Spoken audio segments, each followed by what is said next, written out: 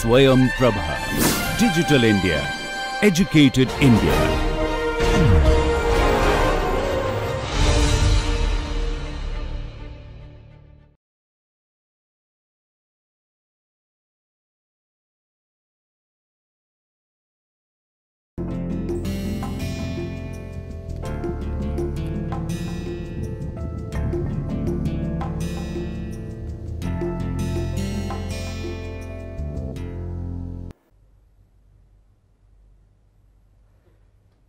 Today's uh, lecture 18th, uh, we continue our discussion on uh, solving parabolic partial differential equation by classical methods. These are essentially explicit methods and one of the property of this explicit method is that it brings in its own um, numerical characteristics as opposed to the physical characteristics and as demonstration we are going to show the FTCS method and we will see that uh, it brings in significant uh, restriction on the time steps and one of the way to avoid this problem of uh, time step restriction is to switch over to implicit methods. And this is demonstrated uh, today by again considering the heat equation.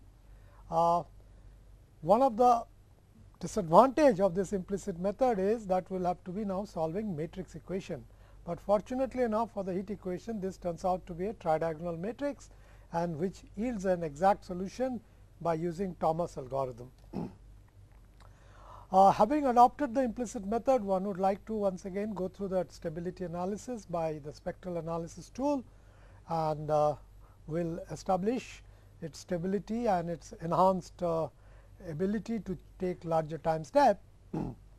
However, at the same time when we have uh, periodic boundary conditions uh, or the periodic problems, uh, we need to convert this tridiagonal matrix into its variation called the periodic tridiagonal matrix and this will be studied in detail.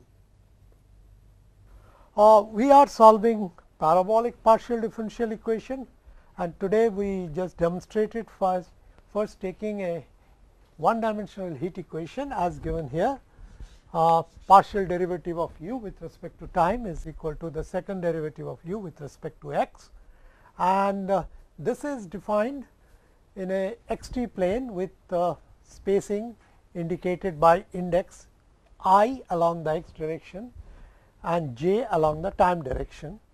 And uh, we specifically talk about a simplest possible explicit algorithm which is called as forward in time centered in space or FTCS algorithm and that involves uh, taking this time derivative u of t and writing it in this form on the left hand side. the same way we can take uh, the second derivative of u with respect to x on the right hand side and represent it by this difference expression. Um, having done that we note that uh, the points involved in this uh, algorithm are given here by uh, this dotted points that is u i j plus 1 which is at the advanced time level j plus 1 is time level depends on the other three points which are given on the line below. In the language of computation this participating node points constitute what is called as the computational molecule.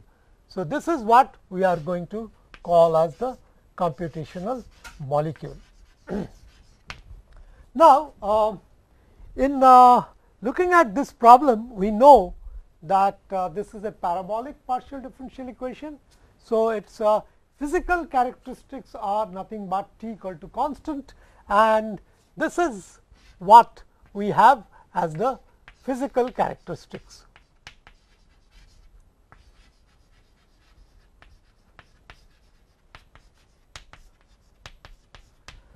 Whereas, we note that uh, the node at the advanced time level actually depends on these three points. And these three points again in turn depend on their corresponding three dependent points. That is uh, this one, this one and this one. And for this, this point, this point and this point.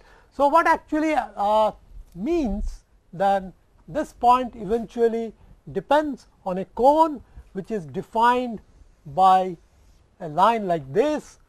Uh, the extremities of the cone is given by this and these are what are called as the numerical characteristics.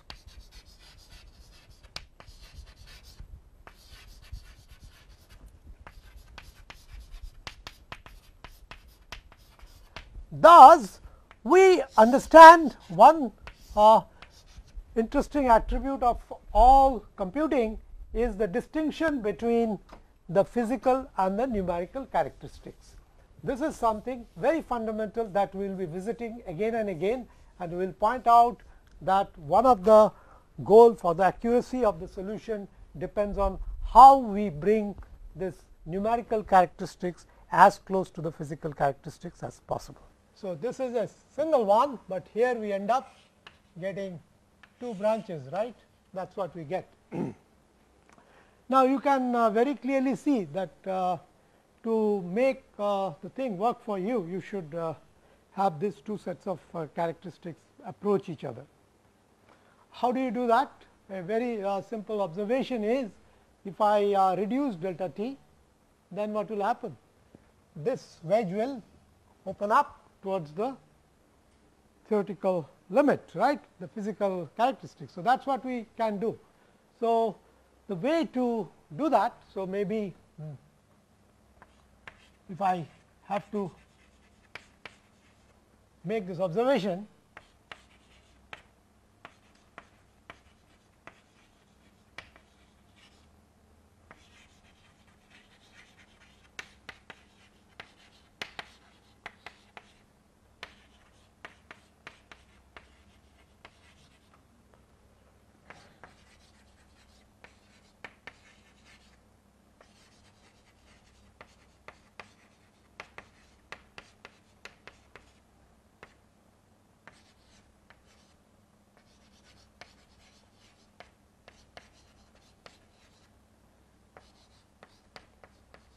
delta t should be as uh, small as possible. So, that is uh, the rule of the game that that is one of the way, but you already know from your uh, experience in uh, computing what you have done just now I am going to submit uh, today uh, that taking smaller time step also makes the process very very slow. So, you, that is not a very good option.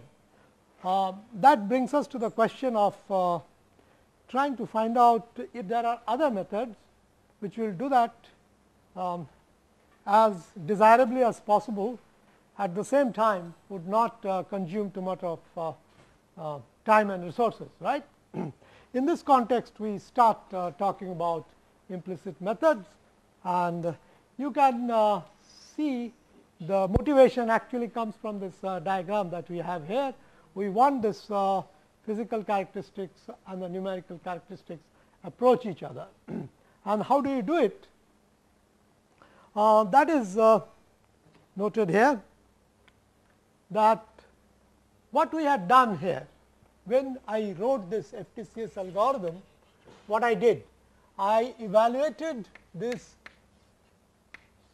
at say some node which I called as x i and I tried to get uh, the time level which I called as T j and uh, what did I do is uh, I wrote this as u x x uh, evaluated.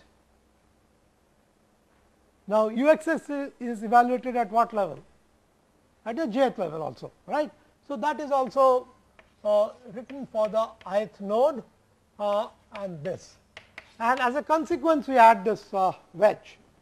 Now, what we could do is uh, if I uh, do the following like what we have written down here in equation 15 that we will take the right hand side evaluated at uh, two time levels. Okay. One is uh, at the jth level and suitably blended with the second derivative evaluated at the uh, prior level. So, basically then what we are doing, we are doing uh, right, rewriting the right hand side as a weighted average. Okay. How is the weighting done? Of course, uh, lambda has to be uh, between 0 and 1 and then if I uh, do this, what I am doing actually? Uh, the first term, if I look at it, would involve these three points, right? Because I am evaluating that at the j plus 1th level. So, that is what we are going to do. Whereas, uh, this 1 minus lambda times uh, u x x are those three points that we had before. So, what we are doing we are now instead of having a computational molecule involving 4 points, we are having it in terms of 6 points, 6 points. And what we are doing then instead of taking the value which defines the molecule at uh, these 3 points, we are taking some kind of a weighted average between this point and that point, that point and this point and that and this. So, this is the sequence. So, what happens is depending on the choice of lambda, we could do many things. For example, if I would uh, set lambda equal to 0 that is I do not evaluate the derivative at the advanced time level get everything from the previous one then we go back to our FTCS algorithm that we have we can very clearly see. So, this will be just simply that what we have written over there. now, uh, this is what um, two gentlemen from Cambridge Crank and Nicolson, uh, they did it uh, in uh, mid 40s. What they said that take a kind of a unbiased average, take half and half contribution coming from each time level. That's that's your lambda equal to half means. Right. So, I will take the second derivative evaluated at uh, the advanced time level 50 percent and the rest of it is coming from the previous time level. Right. Now, we could also of course, it is a whole continuum you could choose a value of lambda anywhere between 0 and 1, uh, but we are looking at some very specific cases and one of which if I look at is um, if I take lambda equal to 1 then of course, this term switches off and all the contribution of the derivative would come from the advanced time level. So, basically then uh, you are going to actually have a computational molecule having this three points only. Okay? And then what you see? The numerical characteristics is completely aligned with physical characteristics, right. So, that should be the quite a desirable case and I think uh, this was done by uh, attributed to Laasonen, uh, if my source is correct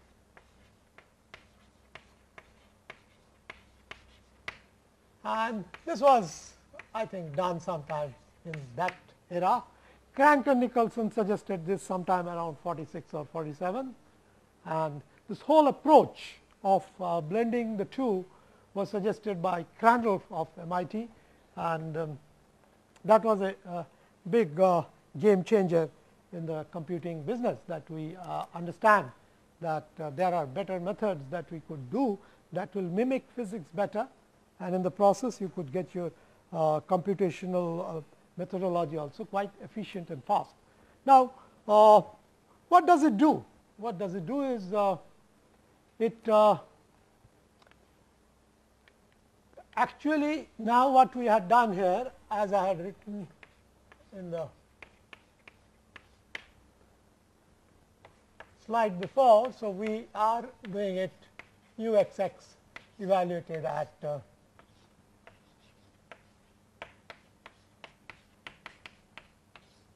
right.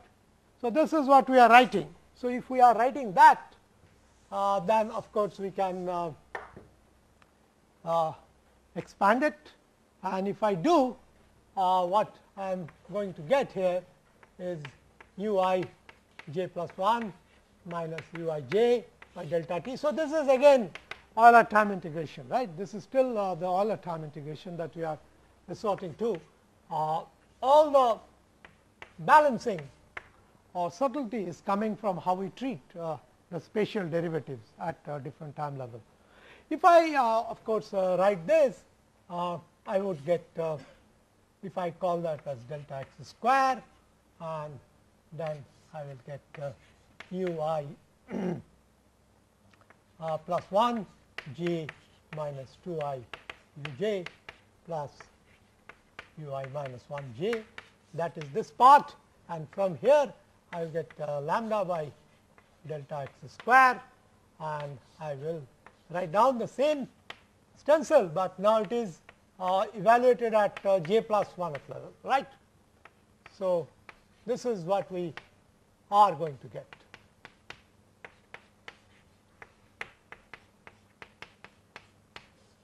Now, uh, quite uh, like what we did for the convection equation, we can see some parameters uh, naturally coming out that we already have defined and um, we defined the Peclet number if you recall in the last class that was simply the ratio of the time step by this. now, in addition uh, we also have brought in a extra degree of freedom in terms of this parameter lambda.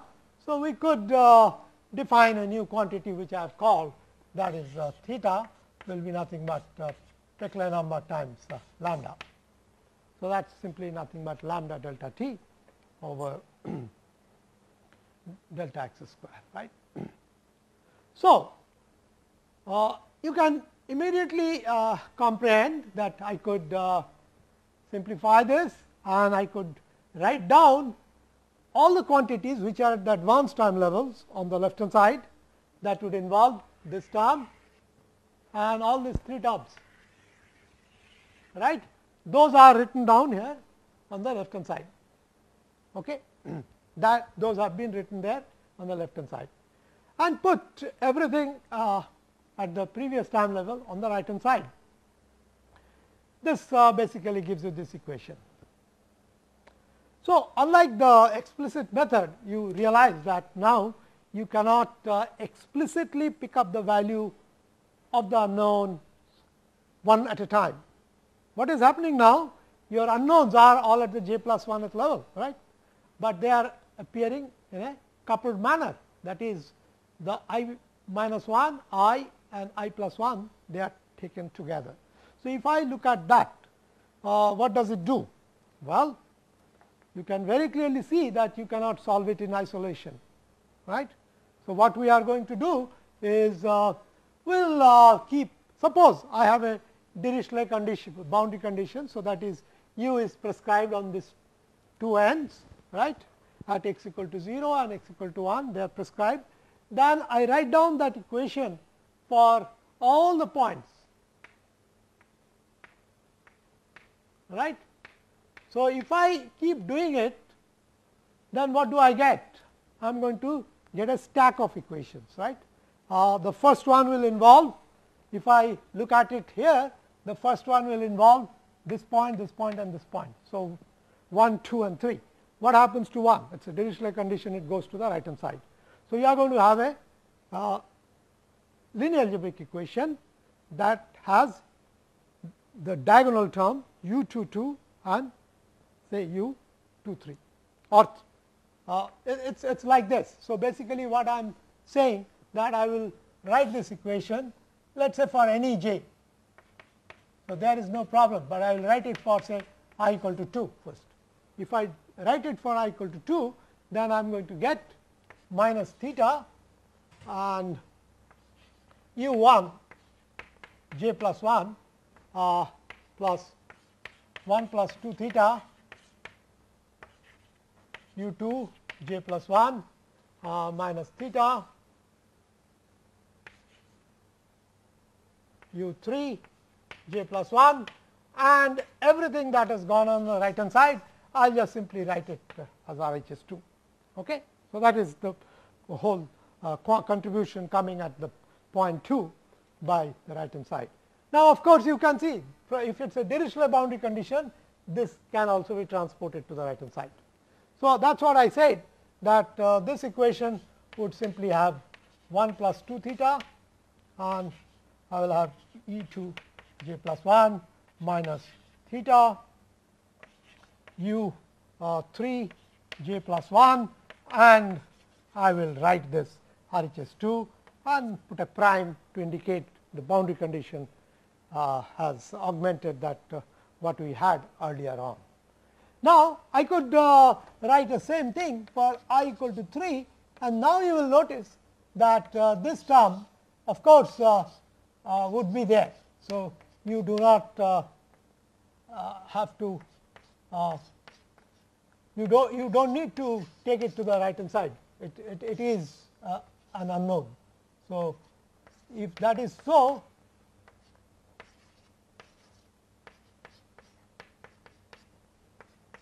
and this I am going to write RHS 3. So, I could write all that. So, what I am going to do is I am going to stack that equation. I will start writing for i equal to 2, then i equal to 3 and write it for all the unknown points all the way up to here, right. So, that is the way the equations are stacked together and when you put them together you will get a linear algebraic equation like this, where A would have the elements which are given here. Right. So, how many non-zero elements that you get? Only 3 right. So, you will get the point corresponds to whatever the i value that you have chosen. Okay. that is here. Right? That is I will look get it as along the diagonal and this term will go onto the super diagonal that is the next point right in hierarchy. So, basically what we are doing we are uh, following the sequence that i will uh, go from left to right and j will go from bottom to top right. So, if I if I do that that is that is what we are doing we are fixing a value of j and then writing all the quantities from left to right and that is why we are getting this equation. A are those uh, coefficients of that uh, left hand side, x is the unknown vector. So, the vector it, will be like this say 2 j plus 1, 3 j plus 1, 4 j plus 1. So, that is a stack. So, I am just simply uh, economizing on space and calling it as x and this RHS that we have identified here they all go to the right hand side right. So, it is a very uh, simple uh, sort of a migration that you can say that we have gone from an explicit method uh, into a business of uh, tackling a linear algebraic equation of this kind which is A x equal to b. But A has a very uh, neat uh, structure I think I have it here that will tell you what it is. It, it, it has a structure like this. So, you have the diagonal elements and you have a super diagonal element and you have a sub diagonal element, right. So, you, you can very clearly identify. So, these are your like uh, um, AIs right these are your AIs. So, if I have to write so this will be my AI and this is BI and this is my. So, for every point I am going to get this. Well, uh, you might uh, think why I am giving a subscript here. It is not needed. It is basically constant for all ith point. It is same. But uh, let us discuss for a general case uh, where you may have these things uh, which could be node dependent. Yeah, let us uh, discuss such a case. And let me tell you that um, this equation despite its simple appearance a central uh, uh, methodology that is used in computing very often. You, you would uh, come across this procedure of solving this uh, tridiagonal matrix equation, right.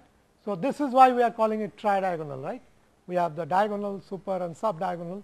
So, it constitutes three non-zero uh, stacks, uh, diagonal arrays. So, that is why these are called tridiagonal matrix. So, that is your structure of the A matrix and uh, x vector I noted to you how it is going to be accounted for. So, we will uh, fix a j run through all the i's from left to right then migrate to the next j and so on and so forth. So, this is the sequence that we will be following in uh, cataloging this unknown x. so, whenever you have matrices with uh, lots of zeros, they are called sparse matrices, right. And uh, this particular A matrix is not only sparse, it is also a tridiagonal matrix. So, what happens is good news uh, in this story is that uh, this equation can be solved exactly and this is what Thomas did and uh, it is uh, well known as Thomas algorithm and this is what we are going to now discuss how we solve this tridiagonal matrix equation. Well, the logic is simple I have a uh, matrix A I could uh, split it into two matrices. Okay? One corresponds to a lower triangular matrix, another would be upper triangular matrix. So, this is a very standard technique that you actually employ in linear algebra that if you are given a matrix equation with arbitrary A, what you try to do is try to split it up into three parts like it is called LUD decomposition.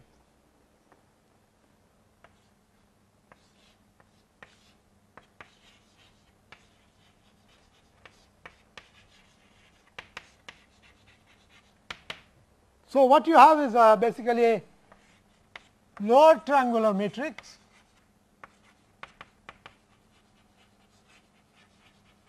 and this is a upper triangular matrix and this is a diagonal matrix. So, in this case what has happened we have dispensed with the d part we are just simply writing it as a product of uh, the lower triangular and an upper triangular matrix. And let me uh, just tell you how this is formally done. Okay. um, because of that sparseness, so many zeros huh, all over, what we could do is we could write down this uh, lower triangular matrix is like this. So, above the diagonal it is all 0 that is why it is called lower triangular right.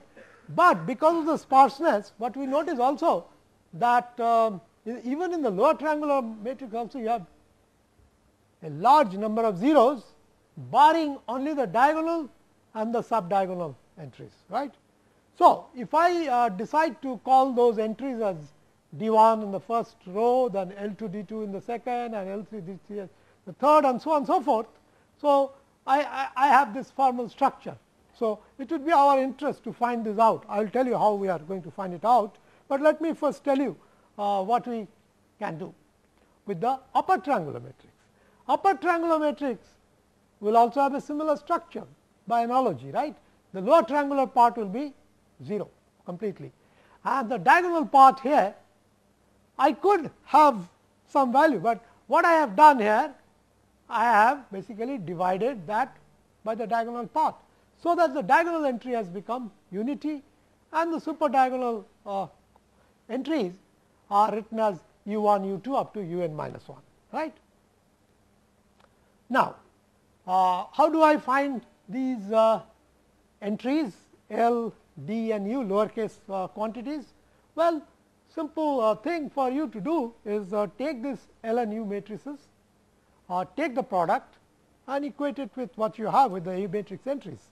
Next, we are going to talk about a special algorithm called the Thomas algorithm, which is used to solve uh, in a direct fashion a tridiagonal matrix, which we have written here as the A matrix, uh, which has three en, uh, entries, banded entries, B i's along the main diagonal, C i's along the super diagonal and A i's along the sub diagonal.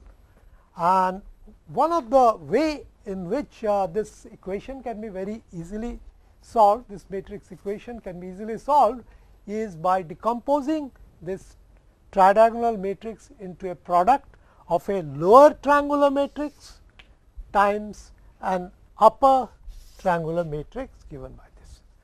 Uh, please note the structure of this lower triangular matrix which has d i's along the diagonal and l i's along the subdiagonal uh, elements. Uh, rest of the elements of this matrix is identically 0. also note that uh, the upper triangular matrix uh, has 1 along the diagonal and ui's along the super diagonal. This is one possible way of uh, decomposing the A matrix into L times U, but we could also do a complementary uh, splitting where we could have one along the diagonal of the L matrix, whereas the diagonal entries of the U matrix would be not equal to 1. Both are essentially equivalently the same thing, but it uh, is easy for us to realize uh, that uh, we can work out directly the entries of this L and U matrix by uh, performing a product. And for example, if I look at uh, this entry A 1 1 that is uh, this B 1 is nothing but product of uh, this first line of L matrix multiplied by the first column of the U matrix and that is going to give us uh, simply uh, as B 2 sorry B 1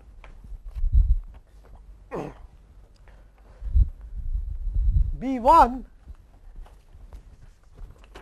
is equal to nothing but D 1. Okay. Similarly, the second uh, entry of the A matrix C 1 would be nothing but product of the first row with the second column. That means, C 1 would be equal to nothing but D 1 U 1 and so we can very clearly see that uh, u 1 is nothing but equal to uh, C 1 by B 1 itself. Okay. So, basically D 1 is defined like this and U 1 is defined like this. Now, we can uh, go through this exercise on the second uh, row of A matrix. For example, A 2 would be the product of the second row of L matrix multiplied by the first column of the U matrix. So, that means A 2 would be simply equal to L 2. Now, if I look at uh, the entry B 2 of the A matrix that will be a multiplication of uh, the second row of L matrix multiplied by the second column of the U matrix. So, that means I will get uh, B 2 should be equal to L 2 U 1 plus D 2. And uh, finally, on the second uh, row of A matrix, we have the entry C 2 and that would be multiplied uh, obtained by multiplying the second row of L matrix with the third column of uh, the U matrix and that would be nothing but equal to d 2 u 2. So, what we can see that uh, if we uh, use this as the starting value here uh, d 1 is equal to b 1 and u 1 is equal to c 1 by b 1 and then we can easily uh, obtain L 2 from this since u 1 is already available, L 2 is available. So, this equation will give us d 2 and once d 2 is known, C 2 is the given entry, we can use the third relation to obtain u 2. So, we can uh, see that uh, this procedure can be generalized we can actually see the generalization emerging from this relation itself. For example, we could write A j is equal to L j and then we could write B j is equal to L j times u j minus 1 plus d j and C j is equal to uh, d j times u j. So, as before we uh, would be able to use this equation to obtain L j and this equation will be able to use to obtain d j and the third equation would give us u j. So, that uh, completes uh, the splitting of the A matrix into L and U. Find the entries of uh, L and U matrices and that is your original equation A x equal to B. So, suppose I define U times x as G vector right U matrix multiplied by the unknown if I call that as G vector then this equation is nothing but L times G equal to B. So, in equation 21 what you are seeing you know the entries of L matrix, you know the B vectors you can solve for. Why you can solve for? Because it is a uh, simple uh, structure. So, what you can do is you can start from the top. You can take the first row and evaluate uh, G 1, then you come to the second row from there you can calculate G 2, because this equation will only involve G 1 right.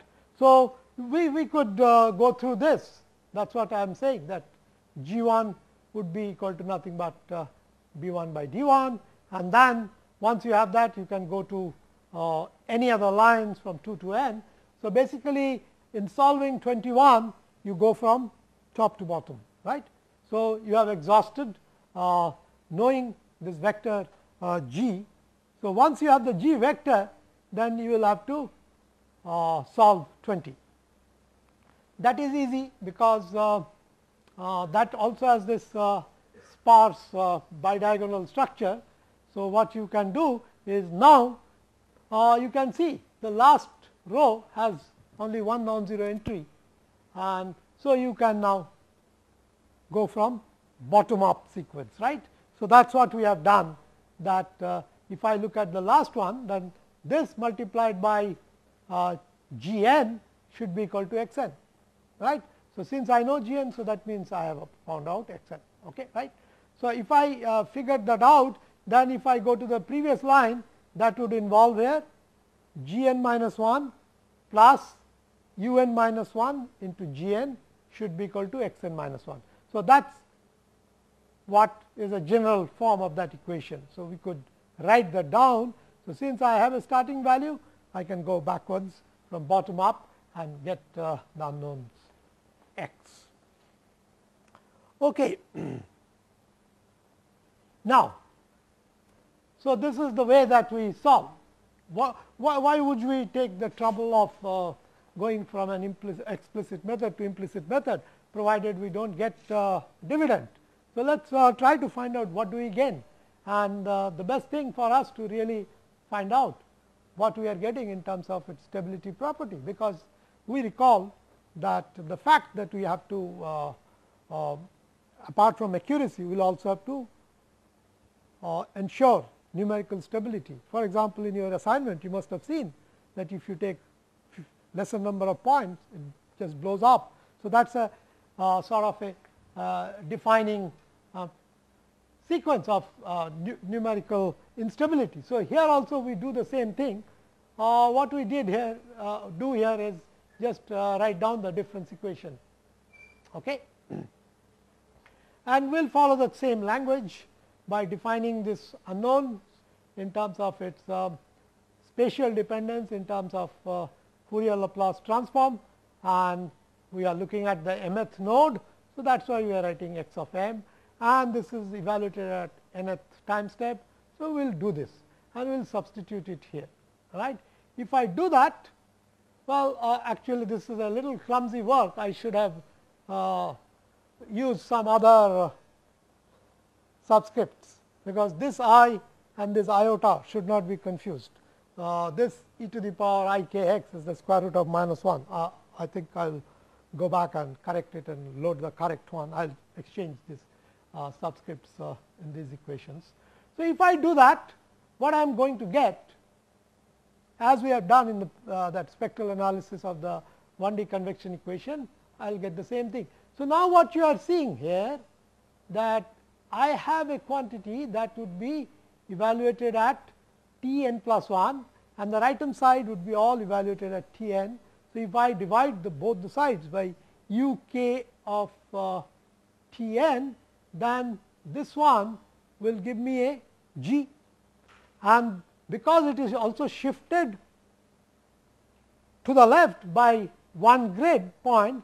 So, that is why I will have this e to the power minus i k h right and the diagonal term of course, is uh, we are looking at i j point.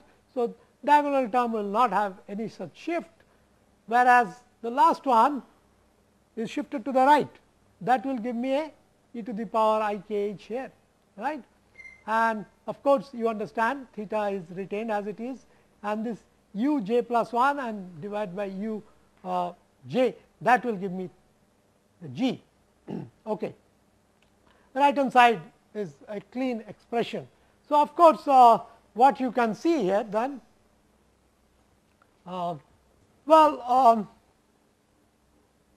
well if you if, if, if, if you look at it uh, I could uh, club the first and third term uh, on the left hand side together. So, I have e to the power minus i k h uh, plus e to the power plus i k h and then I have the quantity uh, 1 plus 2 theta into g the, the 2 theta into g uh, that is on the left hand side. And uh, on the right hand side uh, we could take p minus theta and that uh, will give us e to the power i k h plus e to the power minus i k h. And uh, the other quantity is 1 minus 2 p e plus 2 theta. Right. So, this is nothing but uh, 2 cos k h right?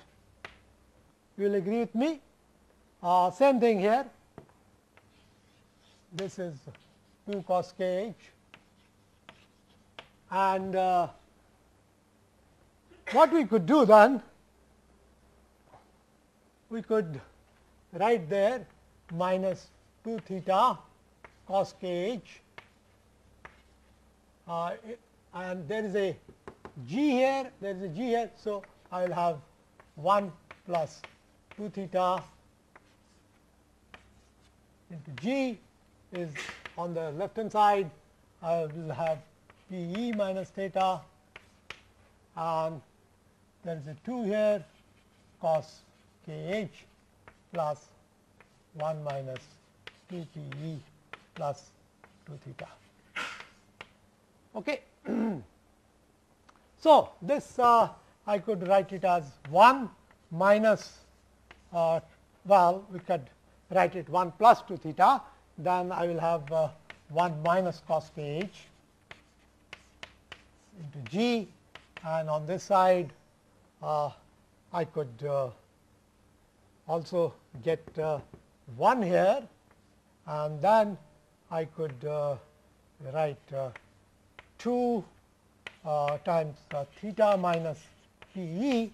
Uh, this will give me uh, 1 and from here I will get cos k h. Okay. so, of course, this is uh, 2 sine square k h by 2. So, that is what you are seeing there. So, I am going to get uh, this is multiplied by 1 plus 4 theta sine square k h by 2. Okay. so, that is what you are seeing here down below, because p into lambda is theta right. So, that is what you see the denominator and the numerator also similarly uh, is written in terms of this. So, what you can uh, notice is uh, that uh, this is also bounded uh, on the upper side by 1, because I can uh, manipulate it and write it as 1 minus something.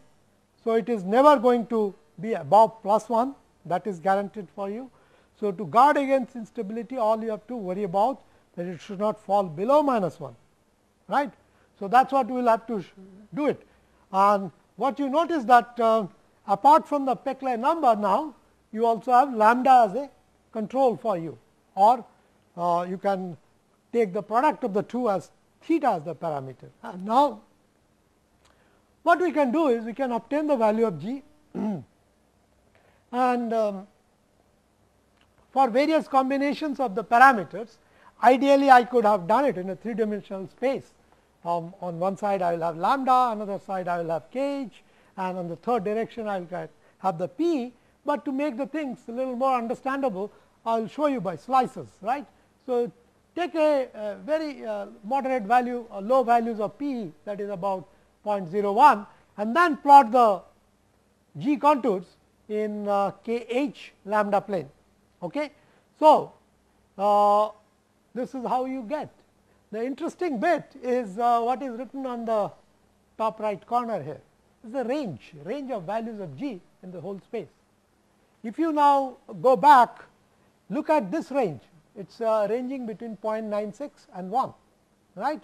And uh, if we uh, look back to our FTCS algorithm,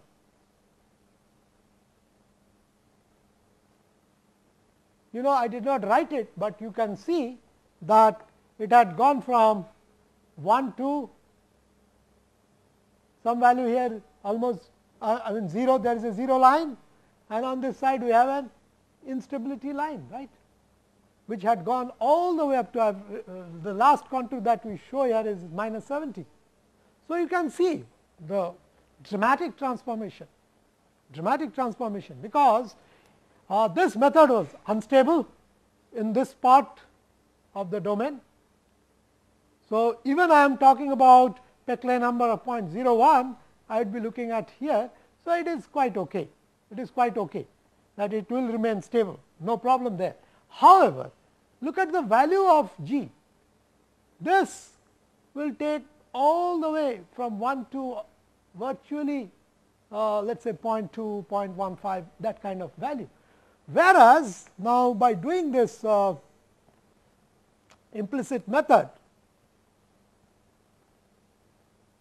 I could actually bracket uh, that g between 0.96 and 1, a tremendous improvement, right. So, this is uh, what we get by migrating from explicit method to implicit methods in terms of numerical stability property. Now, if I uh, increase the Peclet number by a factor of uh, 10, so that is what uh, we have done. From 0.01 we have now gone to 0.1 and uh, what do we find? The range is still not too bad, it is still uh, quite okay, it is between 0.6 and 1, it is between 0.6 and 1. And uh, you can realize that that this uh, is the story for virtually this is your explicit method uh, will correspond to what lambda equal to 0 right. So, you can see this is your explicit method and this is your implicit method full implicit method and you can uh, see that uh, there is a significant uh, improvement here that we do not uh, go below 0.6 whereas in FTCS we could have gone all the way up to 0 right. And what happens if you take a much larger value of Peclet number that is of the order of 1 and then what you notice that finally you started seeing instability. So, now the range has gone from uh, minus 3 to plus 1. So, what I have done here I have uh, drawn that minus 1 line here, we have drawn a minus 1 line here. So, to the left of which this region is your unstable region. So, if you take explicit methods uh, for value of lambda below this critical value, what will happen? You have to worry about some values of k h which are going to be unstable, right. So, that is something you have to uh, worry about. However, if you take value of lambda above this critical value, then you have a fully stable method for all the kh range right that you have resolved with your grid. So, this critical value happens to be about 0.2506. So, all, all that you are uh, uh, able to see now that uh, you can get a very very spectacular improvement in your uh, uh, ability to take much larger time steps. See uh, these values of Peclet number are few orders of magnitude larger than what you can do with the explicit method. So, we are talking about improvement of the order of say 1000 times, 10,000 times that type of improvement in computing. Okay, so, this is what uh, is all about uh, the classical way of looking at parabolic equation and their computations. There is only one thing that I have not uh, talked about, which I uh, would like to tell you is uh, this is more from practicality point of view, um, not specifically related to parabolic equation, but uh, in many computing problems, what happens is we come across uh, conditions where we state that the variables are periodic in nature. So, what does it mean? When I say the, vari uh, the variables are periodic in nature, what we are uh, talking about is that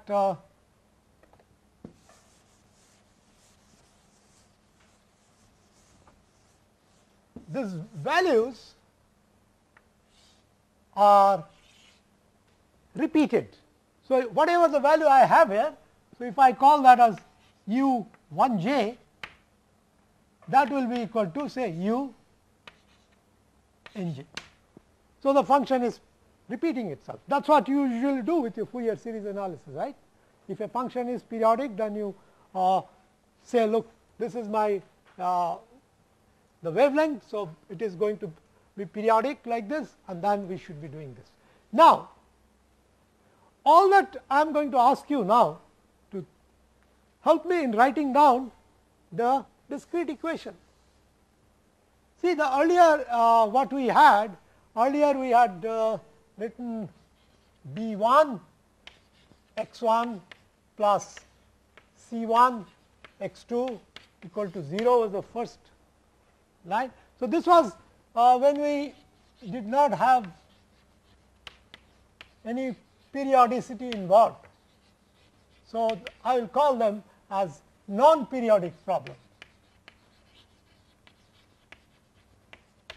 And the second line had a 1 x 1 plus b 2 x 2 plus c 2 x 3 equal to 0 and so on and so forth.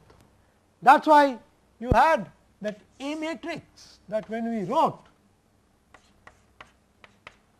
I wrote uh, B 1 all the way up to B n and then we had here C 1 all the way up to C n minus 1 there is 0 0 right. and what was your x vector?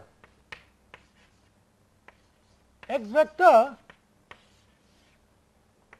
from x 2, x 3 all the way up to x n minus 1 right that is what we had.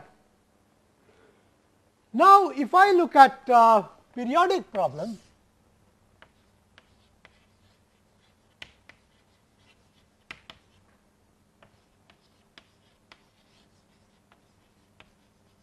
what I am talking about. Now, my unknowns basically I, I do not have a Dirichlet condition. Instead, the boundary condition is the periodic boundary condition that is what I wrote. So,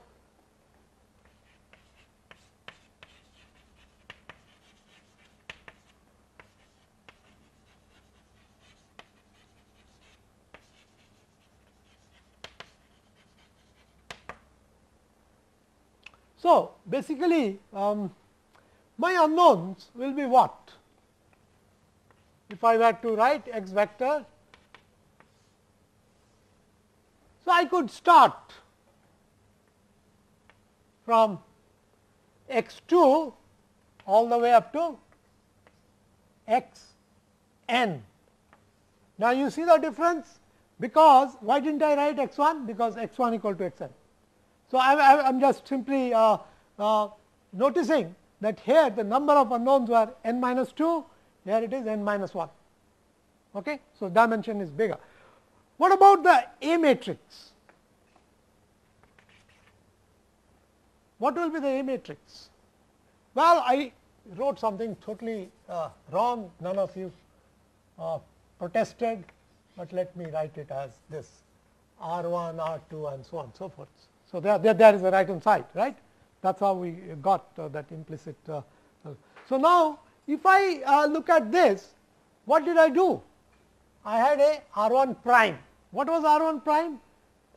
If you remember what I said, R 1 prime was whatever R 1 that I had, I also had a quantity called A 1.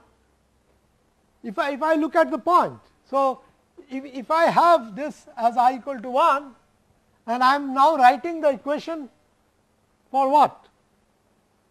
I am I'm, I'm writing the equation from 2 onwards, right. That is how I have catalogued the unknowns. So, if I write the equation for 2, then I have what here.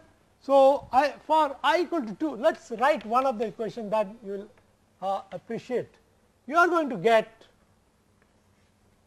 u 1 j plus 1 that is an unknown that is multiplied by a 1.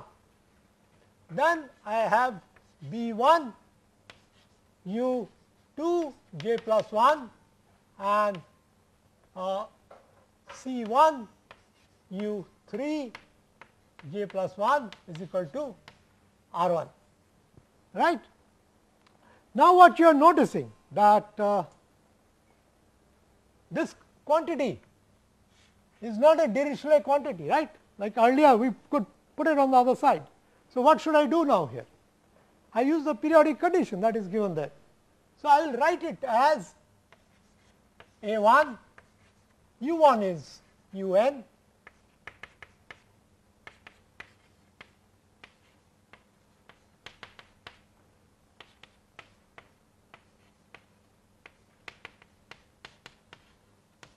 So, what has happened now to the A matrix? You can see that uh, corresponding to the last entry, I have a non-zero A 1, right. So, A matrix if I were to well let me write it like this I will remove this okay. So, since you have noted this down I will uh, expect that you remember what we are doing. Okay. So, now if I were to write down the A matrix the diagonal entry still remains the same B 1 then I have the super diagonal. What about the A 1 quantity? A 1 quantity is nothing but it will come here. Do you see that? That there are stacks of zeros and then you have here. Then of course, once we are in the uh, other line there is no such problem right. Same way what will be my last equation? The last equation if you allow me to erase this part so, we are not talking about non-periodic part is easy and done.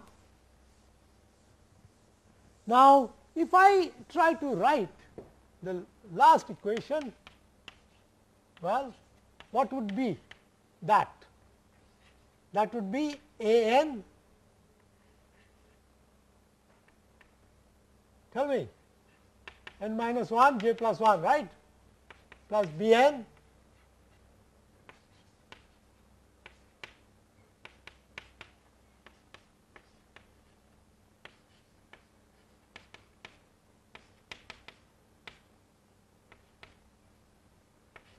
Well R n. Now, this looks quite okay except the fact that what is this?